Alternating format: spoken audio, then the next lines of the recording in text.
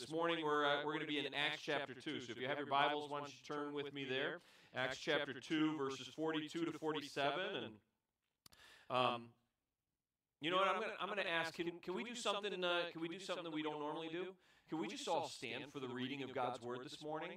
Out of reverence for, uh, for the, the truth of God's Word, the truth of the Scriptures. And uh, let's, let's just uh, listen to these things uh, with hearts of faith and worship this morning. It says in verse 42 And they devoted themselves to the apostles' teaching and the fellowship, to the breaking of bread and the prayers. And awe came upon every soul. And many wonders and signs were being done through the apostles, and all who believed were together and had all things in common and they were selling their possessions and belongings and distributing the proceeds to all as any had need. And day by day, attending in the temple together and breaking bread in their homes, they received their food with glad and generous hearts, praising God and having favor with all the people. And the Lord added to their number day by day those who were being saved. This is the word of the Lord, our food for this morning. You may be seated. Well, friends, uh, we are continuing our series entitled Longing to Belong and pressing in to biblically saturated, gospel centered community. And this morning, uh, we are hungry for it. I don't know if you felt it, you sensed it, but our hearts long for community. We're hungry for it. And, and I've got a good word for you. If you are hungry for those things and you're sensing that, the Word of God gives us a promise. In Psalm 107, uh, verse 9, our theme verse for the year, it says this For he satisfies the longing soul, and the hungry he fills with good things. When we come to the Lord with our hungry hearts, our longing souls, He longs to fill those things, and, and we're hungry today. Our hearts long for the things that we're going to be pressing into uh, today, and we're hungry for community. Um, but can I tell you, the world is too? The people that we live with, our, our, communities are hungry for it. Our nation is hungry for it. Our world longs for community. I mean, think of uh, think of just uh, TV series that you uh, that you experience. I mean, it's it's all about community. So many times you think of Friends and Seinfeld or The Office or Parks and Recreation or uh, or even the, the the TV series Community that uh, that was on for about six years, right? Um, for those of you who didn't know that, uh, that specific series, um, Community uh, was about a former lawyer who attends a community college when it is discovered that he faked his bachelor's degree. And so uh, as he goes back to this community college, he finds a girl, starts to uh, try and date her uh, from his Spanish class, and, and he, to do so, he pretends to form a study group, right? And uh, he thinks he's going to have her all to himself. Well, nah, not so much. She invited another student who awkwardly invites half of the Spanish class. Uh, and, uh, and the entire uh, group is there. more people attending the study group and the eclectic group of misfits, uh, which have many differences between them, soon become close friends. And they form an unlikely community. And uh, if you love that show, some of you are like, I didn't even see that show at, at all. Some of you loved it, and you're like, I miss community, right? Well, you're in luck because NBC said in 2022 uh, that they're going to be uh, they're they're working on a full-length feature film that's in the works right now, right? So you're going to get more of your community fix, but. I'm going to tell you, friends, as the followers of Jesus Christ, as the church of Jesus Christ, we hunger for community too, but, but the community that we have in the Lord, the community that is in, in biblical community, that is after the heart of Jesus and founded on the gospel of Jesus and has the people of God, really is so much better uh, than what the, what the world can even hope to have. A biblical community, Christ centered community, is loving relationship with the people of God based on the person of God to fulfill the purposes of God. And I don't know about you, when you hear that, you're like, well, what does it look like? What does it look like in, in reality? Like, if, if we're supposed to have biblical community and gospel saturated community, what is that supposed to look like? we get that in our passage today. We get that in Acts chapter 2, verses 42 to 47. And so if you haven't turned there, I invite you to turn with me uh, there right now. And we're going to see the characteristics of Christ centered community. The characteristics of Christ centered community. And what does it look like? Well, let's begin with this point this morning. Uh, the first characteristic we see is this a Christ centered community is it commits to the core essentials. It commits to the core essentials. Notice in verse 42 again, it says this And they devoted themselves to the apostles' teaching and the fellowship and to the breaking of bread and the prayers.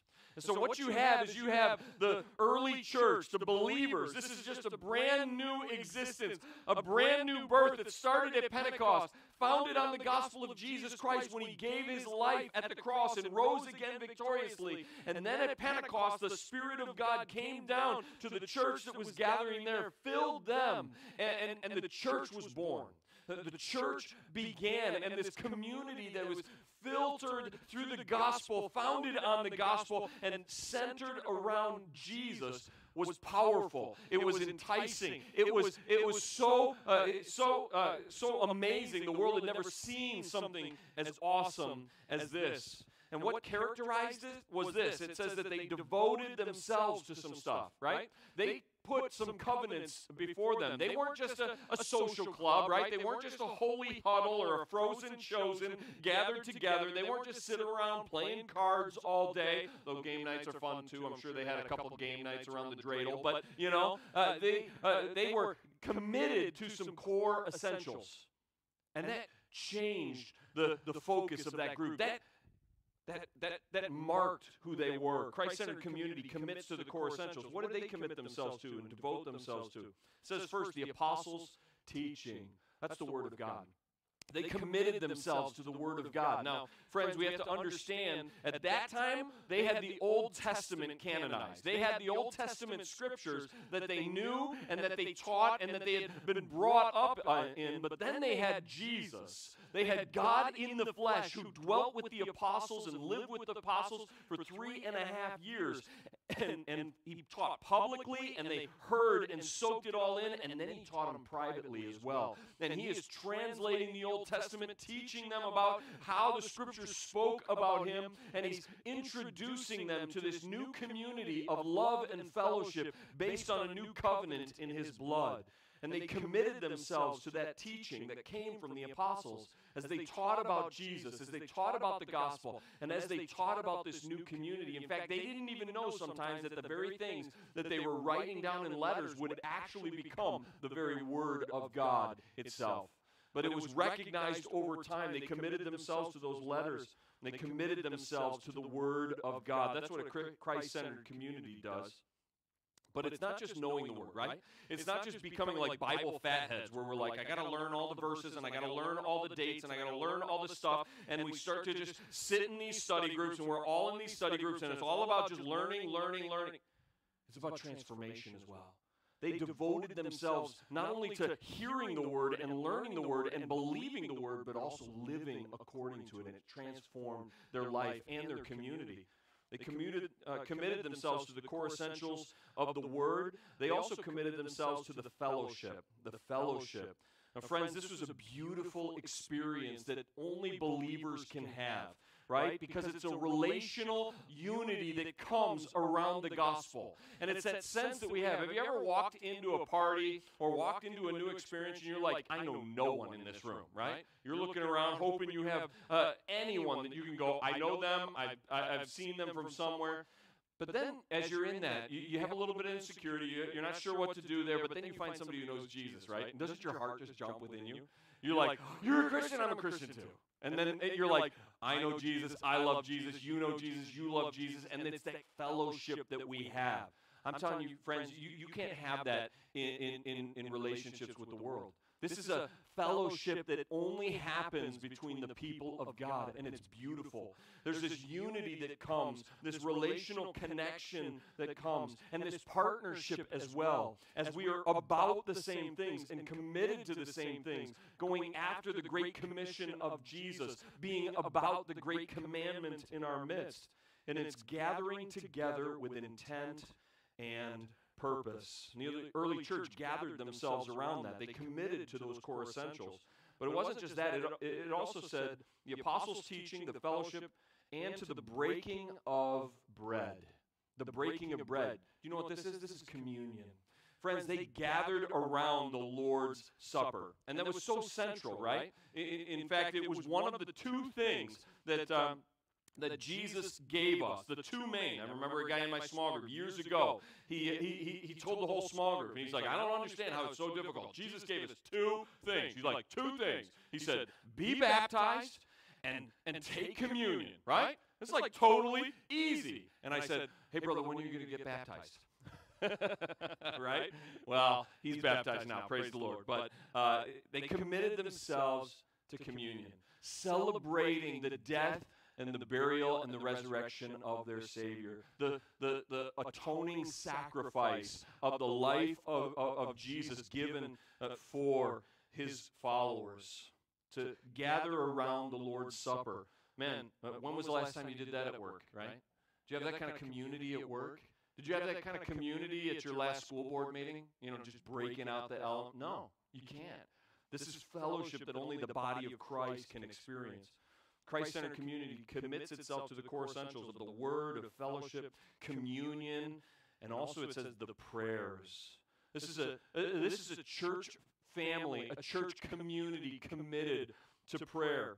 And, not just any prayer. Yes, were they praying alone? Were they praying in their, their prayer rooms, in their closets, as Jesus had told them? Or were they calling out to the Lord regularly, daily? Yes, they were doing that. I don't know about you, but uh, maybe some of you you have a you have a time set aside in the morning when you go and you get with Jesus. You know, you got your chair, you got your coffee, you got your devotional, and it's just the two of you, right? And you just you just have some great time. Or maybe your time's in the evening. Maybe some of you are like morning and evening, or maybe some of you are just like I'm all throughout the day. I walk in utter communion with the Lord all the time. Praise the Lord for that. This was also though they were gathering together to pray. They were getting together to pray. And they were going for the prayers. And what were the prayers? Well, we get a little insight into that in Psalm 55. Uh, 55 verse 17. The psalmist there says this, But I call to God, and the Lord will save me. Evening and morning and at noon I utter my complaint and moan, and he hears my voice evening and morning and at noon. You hear that in, in other places in the scriptures as well because that was the practice of temple worship. That was the practice of the community of God gathering together for prayer. If you were a part of Judaism, you know that prayer happened at 9 a.m., at, at noon, and then at 3 p.m. And there were prayer gatherings. And so if you wanted to go to the church and you wanted to pray with God's people, man, they were there calling out to the Lord. And they committed themselves to that. They were devoted to just praying. And so as they had opportunity, continuing to call out and gather in prayer. Christ centered community commits to the core essentials of the word, fellowship, communion, and prayer. Are you committed to those things? Are you committed to those things? If, if we're, as Grace Community, going to be a Christ centered community, we as individuals need to commit to these things too. How are you committed to the word? Some of you are like, eh, I could take it or leave it. It's okay, right? I'm not even sure it's from Jesus. No, no, no. These are the Holy Scriptures. These are the God breathed, God inspired Word of God, inerrant. And this is the, the, the, the truth and, and the blessing that we have that, that has been given by God. These are His love letters to us to instruct us on how we should live, how we should believe, what we should be about in this world, and how we fulfill our purpose. Or, or, or, or, what about fellowship? Some of you are like, eh, I could take it or leave it, you know? Some of you are like, eh, I'm not committed to fellowship, hanging out with the church, coming for worship, right? I, I, remember early on in the church, right, when we were planting the church. So we were real small at the time, you know, uh, only, you know, only uh, I think a year, 18 months or something like that. And I remember extending my hand to somebody, and I was like, "Hey, man, how you doing? Uh, are you new around here? My name's Pastor Mike. What's your name?" And he said, "No, I'm a regular attender." There's like no one at the church at the time because it's a church plant and it's starting up. And I'm like, I'm pretty sure I would have known you if you were a regular attender, right? Yeah, I'm not sure about it. He's like, no, I've been here. I've been here. Check your records. I was like, all right, well, I apologize for not knowing your name. I'm gonna I'm gonna work at that. So, um, wouldn't you know it? I went back that week, checked the records, and, and he was regularly attending twice a year. Once every six months, you know? He's one of those Creaster type people, and, and, and, you know, where it's just like Christmas and Easter. And friends, somewhere along the line, we th- think regularly attending church is like, you know, when I feel like it, or, or, or twice uh, a year, right? Regularly attending church is like when I'm in oh, every week, I'm coming and being part of the, the people of God, and I'm there gathering, and, and maybe I'm out of town for something, but I'm communing with the people of God and, and connecting as much as I can, and I'm bringing the worship that the Lord requires, the Lord deserves, and my heart so desperately needs with the people of God. I'm committed to that. Are you?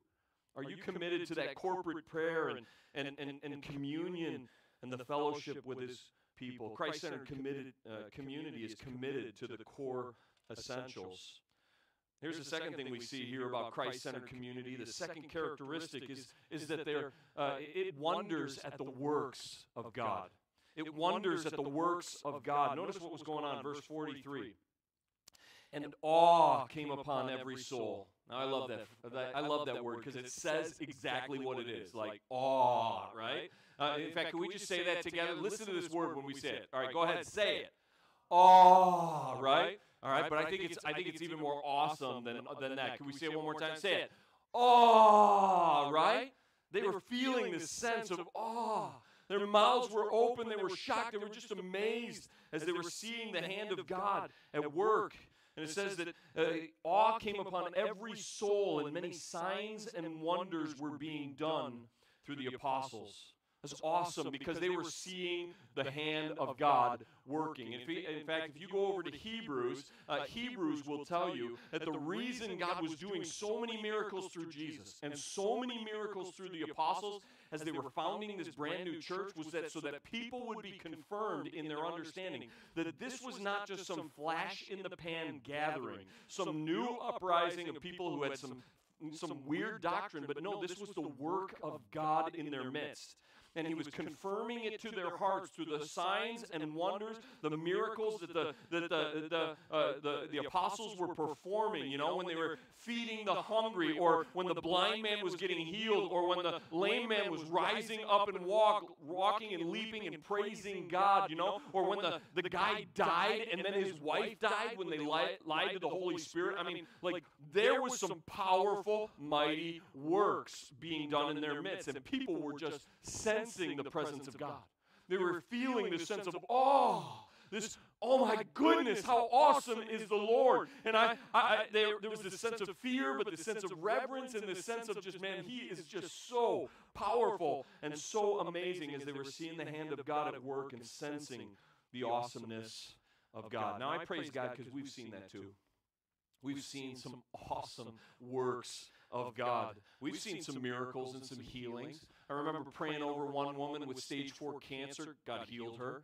That was pretty awesome. Remember when the elders uh, anointed someone with oil and prayed over them for their epileptic seizures? They went and got a doctor confirmation of the healing that happened in, in her. It was powerful to see. God's done those things and, and He continues to move. But it's not all miracles and just healing like that. God does awesome things. There was amazing provisions. I mean, powerful prov- provisions. I could tell you about this one time when, um, when early on in the church. Some of you, many of you don't know know this uh, this story, but this is like this is like a Grace Community Church lore, right? If you want a little, a little inside uh, information or, or some of the story of God at work, there was one uh, one uh, season where we were going through the budget, going through the numbers, and we were just um, looking, going like, hey, I don't think the numbers are adding up. We're going to come way short this year. And we saw a $26,000 shortfall in, the first six months of the year. And um, as best as we could know, it seemed like the church was giving faithfully. And people were uh, uh, just giving to the work of the Lord there. And we just said, hey, if you're not, please join with us. Let's just let's just be faithful. But but we think everybody is is honoring the Lord in this respect. And so we called the church to fasting and prayer. Now, if you've been part of Grace Community, it's, it's rare the amount of times that we call the church and, and tell the church, hey, church, we need to fast together and we need to pray. Now, some of you are like, thank you, because I didn't know if this was like, you know, part of the initiation rites around here. You always got to fast or that kind of stuff. Um, fast as the Lord leads you into it. But sometimes we have to call the church to pray, and that was one of them.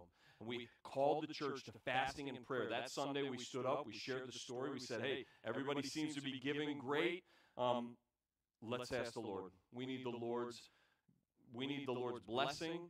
And, and internally, I didn't tell anybody this, but if it didn't come through, I mean, like pastor probably would have had to take another job or something because it, it was it was that that dire. But we didn't share that side of it. We just said, hey, let's we're, we're going to trust the Lord, right? And so we all began to pray. We all began to fast. That was Sunday right after church. Wouldn't you know? I walk into the office on Tuesday morning, and my assistant comes in and she slides two checks onto my desk. Now, I'm going to tell you, I don't see the checks and uh, all the money that comes in for tithes and offerings at this church, okay? My assistants don't do that on a normal basis. But this was a powerful one because these checks were from outside the church.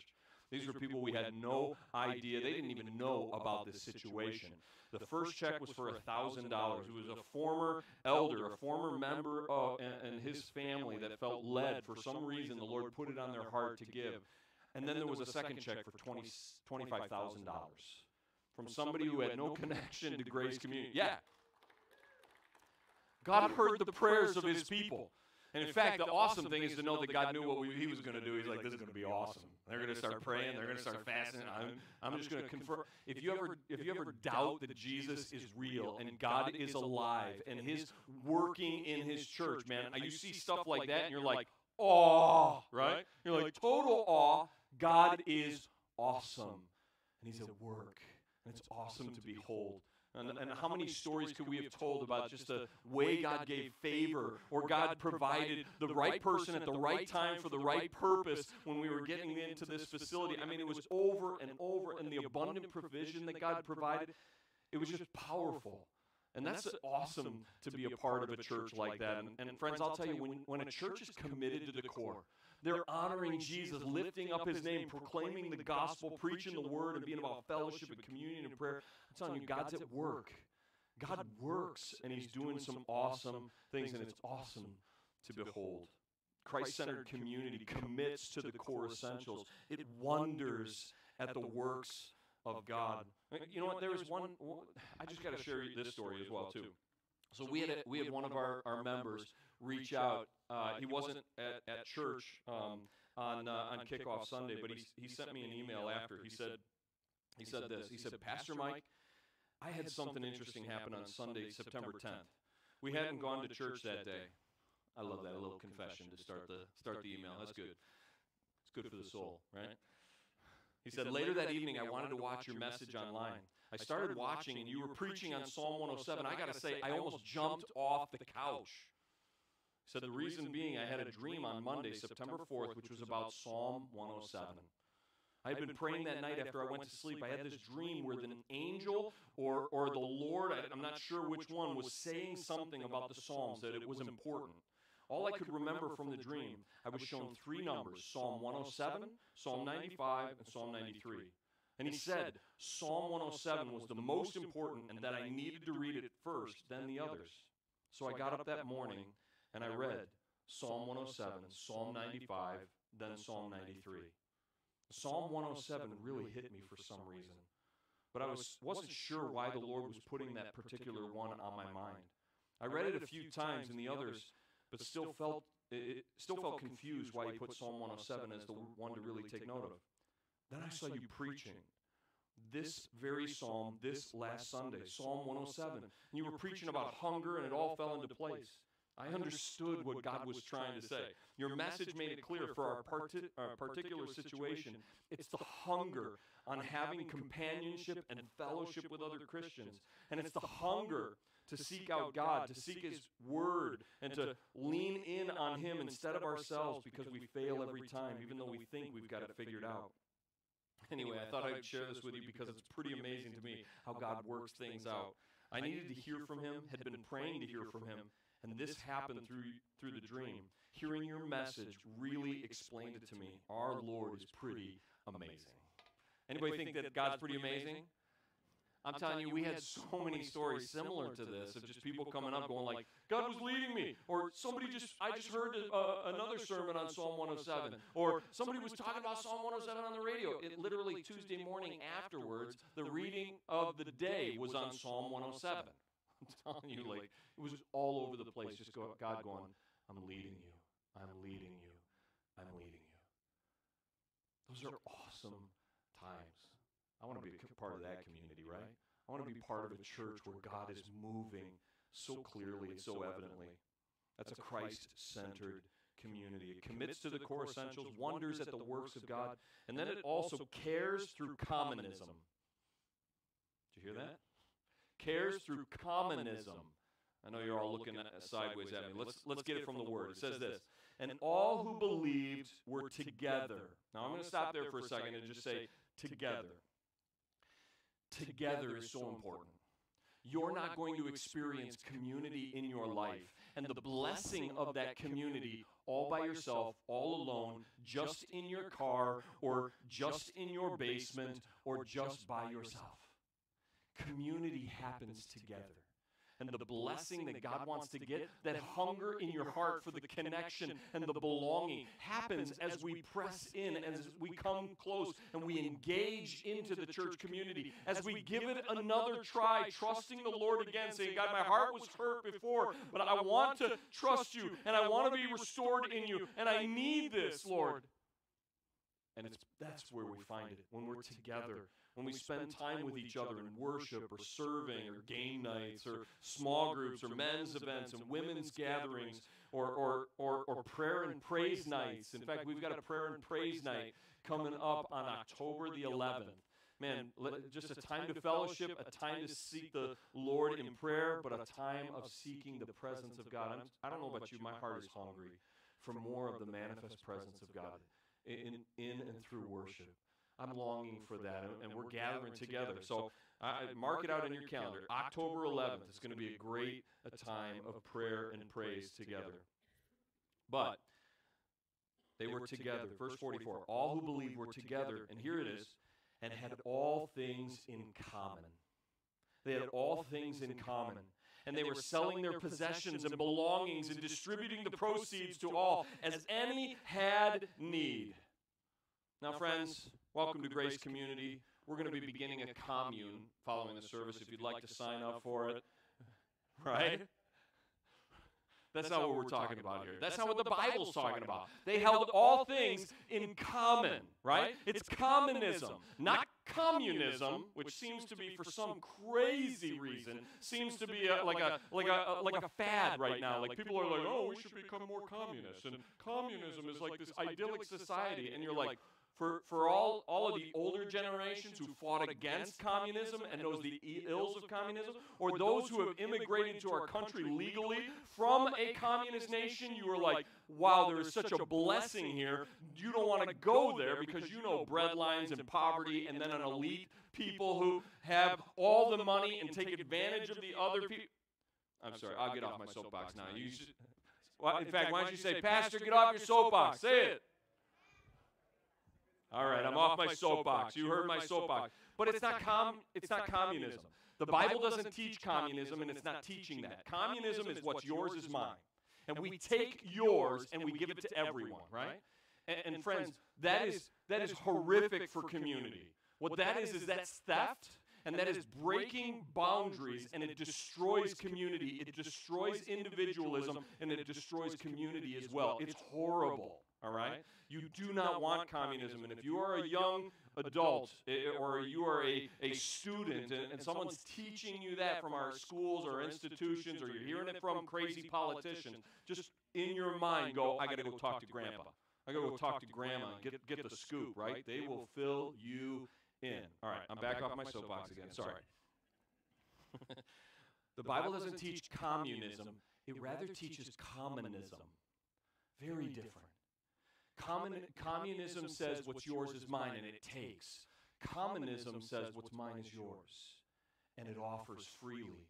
It chooses to say, I'm going to bless and I'm going to meet the needs of others, the legitimate needs. And that's the beauty of the body of Christ. It is saying, you know what? All the stuff that I have, it is not more valuable than the people of God.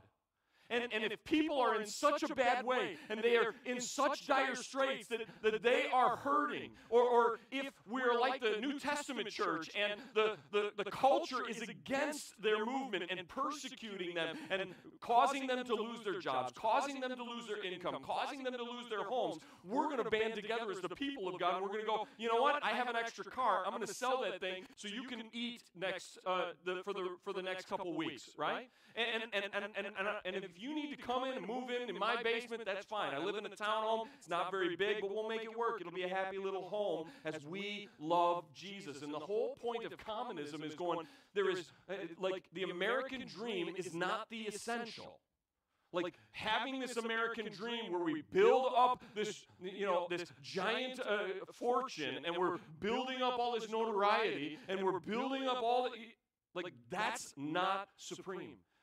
We recognize, and friends, li- listen, it is not bad to be blessed with riches. It is not. Money is not the root of evil, it's the love of money that is the root of evil right? And if, so if God is blessing work of your hands, praise the Lord for that. Praise the Lord. And, and I love what it says in 1 Timothy 4, where it says that every good gift that we receive from the Lord is to be received with gratefulness if it is received through uh, the, the Word of God and prayer. Like we thank the Lord for the blessings He has in our lives, but then we put them in their right place. We put them in their right place and we go, you know what? The people of God are more important than all of my stuff. And when the people of God are hurting, I'm hurting because I'm part of community. And when they're going through the weeds, man, I'm going through the weeds with them, right? And I'm going oh, oh, to be there with them. And I'm not just going to be like, oh, sucks to be you. I'm doing my own thing, right? No, that's not what we're, what we're about. We're about commonism, and we care for one another. And we are known, as Jesus said, by our love. And that's the heart of the people. And we care for one another through commonism. That's why the church has a benevolence fund. That's why the church cares. Why? Why we take up uh, an offering in uh, in I think it's May and then again in in November. We're going to be taking up a benevolence offering again this coming November. Why? So that the people who are hurting in our body, the people who are hurting in our community, can be cared for in those moments of crisis, in those moments of need. That's what the church is about. And friends, that kind of care is countercultural. That kind of care is powerful. It speaks to a world, and they look in and they go, man, we need to figure that out. We need, to, we need more of that because whatever they're doing, they really care for their people well. Right? The church of Jesus Christ and a Christ centered community cares through commonism. I'll tell you a story that happened in our church. I love it. Um, we had one guy who was uh, he, he was uh, he came to the church. He said, "Man, I got a job. I'm working hard, and, yet I, you know, not making ends meet here. I really need a, job, a car to be able to get to work." And so he brought that need to the deacons, and the deacons were kind of meeting with him, counseling him, going through his finances, and helping him figure out where he could where he could work. But you know what? You know what was awesome? There was another family in the church. The family in the church had an extra car, and they were buying a new car, and you know, as we typically do, I'm sure they were thinking, how much could I get? How much will the dealer get? How much could I get if I sell it, you know, uh, sell it myself? And the Lord just knocked on their heart. You ever had that experience happen? Where the Lord just kind of goes, hey, remember, I gave you that as a gift. I need that for some other purpose. And the Lord knocked on their heart, and they're like, they came to the church, and they're like, we're not sure exactly why, but you know, the Lord gave us a car, and we, we want to give it to the church for somebody who needs a car. well, wouldn't you know, it was that week that that gentleman came to the deacons was like, I need a car. we're like, Jesus. Jesus, right? Jesus showed up because he knew the need. There's legitimate needs. Now, friends, what commonism is not teaching is that, you know, 50% of us are going to work hard and we're going to earn all the money, and then 50% of us can sit on our couch and, you know, live in our base, the basement of our parents for the rest of our lives. That's, not, commun- commonism, right? That might be communism, actually, but that's not commonism. that is unloving and irresponsible. And the Bible actually speaks about that in 1 Thessalonians chapter 4, 2 Thessalonians chapter 3. No, no, no. This is a hardworking community who are seeking to be honoring the Lord in all respects and doing our parts. And then when somebody is legitimately hurting, coming alongside them and meeting those needs in Jesus. And that's awesome to be part of a community that cares like that, right? It's awesome to see. And that's Christ centered community. It commits to the core essentials, it wonders at the works of God, it cares through commonism. And then lastly, it worships and walks together. Worships and walks together. Look at this, verse 46. And day by day, attending the temple together and breaking bread in their homes, they received their food with glad and generous hearts, praising God and having favor with all the people. And the Lord added to their number day by day those who were being saved. A Christ centered community worships and walks together. What you see in this passage is something that is repeated like five or six times in the book of Acts. It talks about where the church could be found, right? And it says, in the temple and from house to house. In the temple and from house to house. Where were they? They were in the temple and they were house to house. Now, if you were part of Judaism, you met in the temple. That was your life, right? Everything was around the temple. And you went to temple and you worshiped at temple. You gave your offerings at temple. You, um, you talked with people at the temple. You heard the word at temple. And, and you did your, your, your spiritual thing at the temple. And then you went back to your regular life. But something changed when, the, when Jesus came something powerful happened when Jesus came. He started a new Christian community based on love, a community that would be deeper and that would be more impactful, a, a, a community that just didn't look at the externals but went uh, down deep to the heart. And Jesus uh, actually uh, started to transform their lives so that it wasn't just in the temple, which we do that, right? We gather to worship, right? We gather to worship on Sundays. We gather for prayer. We gather uh, to uh, meet in, uh, and, and just to worship Jesus together, to fellowship together, to take communion together, and to pray together. We meet for that. But at the same time, Jesus said, Now you are the temple of the Holy Spirit. You are a temple of the Holy Spirit. You are a temple of the Holy Spirit. And the Holy Spirit took up residence within the people at, at, at, Pentecost. It was powerful. The Spirit of God came and the Spirit of God baptized them and filled them to fullness, just like we are filled with the Spirit of God Himself. And we've received His Spirit, and we are temple. So that means everywhere we go, everywhere we go, we've got temple with us. Everywhere we go, we are connecting and communing from house to house as well as in the temple. And here's the beauty of it the beauty of meeting house to house and gathering. All of a sudden, there's more intimacy. There's more fellowship that's happening on a street level connection, right? Because it's not just putting on a face. How many think it's easy to put on a face for an hour and a half? Eh, pretty easy, right? You could show up. Everybody could be like, "Hey, how you doing this week?" Good but your car's not working, your, di- your dog died, your family's all sick, your bank account's drained, and you're like, I'm good. Right? Really? That sounds like horrible. Sounds like the worst week ever. Well, maybe not ever, but or, or, or maybe maybe you come into church and, you and, and, and your life has been just so not victorious that week. And you've stumbled into sin again. You're like, no, I'm, I'm good. Or, or maybe even worse, you just don't even come. So you're like, nah, I, I, I got to clean myself up first. Friends, when, the, when, when it's not just a Sunday gathering and it's not all about the show, and it's really about street level discipleship and getting into each other's lives, man, we meet from house to house and, and it begins to be more intimate. Because as we're in each other's homes, I see how you treat your wife and how your kids respond to you. I see whether your house is clean or whether it's a sty. Really? I see, you know, I see your real life, not just what you've manufactured for an hour and a half. And the whole idea is that community, the community of Jesus, is to be a place where your heart is really being transformed. And your life is really being an, impacted. And here's the beauty in the midst of community, your life is being changed. And as you draw near, as you come close, as you experience this biblical a Christ centered community, your life begins to change as people's lives are rubbing off on your life and people's faith is rubbing off on your faith.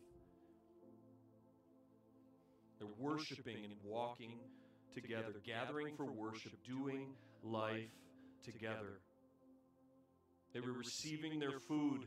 So much uh, of ministry, so much of connection happens around food. How good is that? They received their food with glad and generous hearts, praising God and having favor with all the people, and the Lord added to their number day by day those who were being saved. They had glad and generous hearts. Why? Because their lives were changed by the gospel.